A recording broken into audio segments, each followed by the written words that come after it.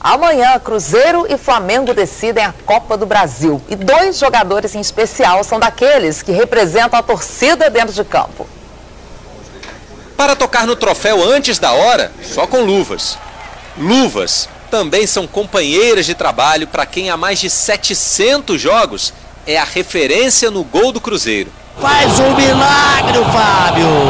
Há um, um equilíbrio muito grande, né? E eu acho que as duas equipes chegam é, com momentos importantes e motivados aí para uma grande decisão que vai ser essa, essa Copa do Brasil de quarta-feira. Para essa decisão, um representante à altura pelo lado rubro-negro. Os 12 anos na Europa impediram que Juan somasse tantos jogos pelo Flamengo quanto Fábio tem pelo Cruzeiro.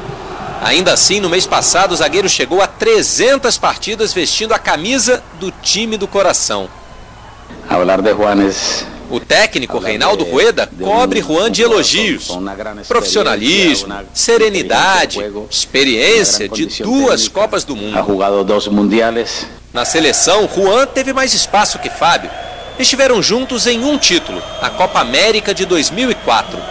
Usar amarelo sempre foi uma honra, mas o azul, o vermelho e o preto é que fizeram deles símbolos dos clubes que defendem.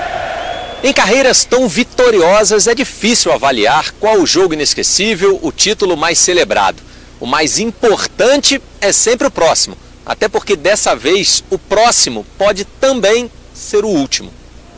Aos 38 anos, Juan não esconde que voltou ao Flamengo para se despedir. Fábio completa 37 no domingo.